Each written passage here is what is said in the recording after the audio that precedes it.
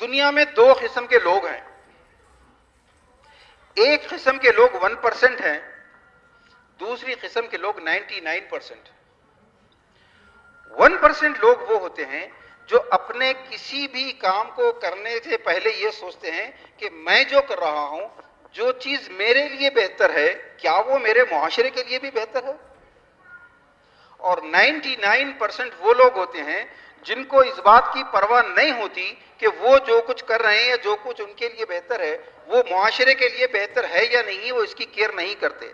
بالکل ایک جانور، آپ نے دیکھا ہوگا جانور سر نیچا کیے ہوئے، وہ کھیت میں چرتا چلا جاتا ہے، چرتا چلا جاتا ہے۔ یہ نہیں دیکھتا کہ کس کا کھیت کہاں ختم ہو رہا ہے، جائز کی حدیں کہاں تک ہیں، فنس کہاں ٹوٹ رہی ہے، وہ سیدھا چلا جاتا ہے۔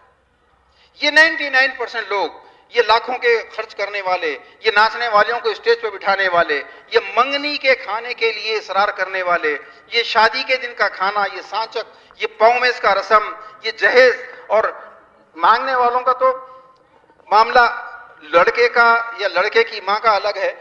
خواتین ساٹھ، ستر سال کی عمر میں آ گئی ہیں، اب ان کو مشکل سے پانچ، دس سال بچے ہیں اللہ کے حضور میں حاضر ہونے کے لیے، ان کی قبر میں جانے کے لیے پانچ، دس سال باقی ہیں۔ وہ بھی ناتا نواسی پوتا پوتی کی شادیوں میں انٹرفیئر کرتی ہیں، اپنی آخرت اپنی خبر خراب کر دیتی ہیں۔ کوئی کہتی ہے کہ دس تولے سونا تو ہونا ہی ہونا ہے، کوئی کہتی ہے کچھ، کوئی کہتی ہے کچھ۔ آپ کو یہ فیصلہ کر کے اٹھنا ہے آج یو اور امنگ ون پرسینٹ اور نائنٹی نائن یہ چوائس آپ کا ہے۔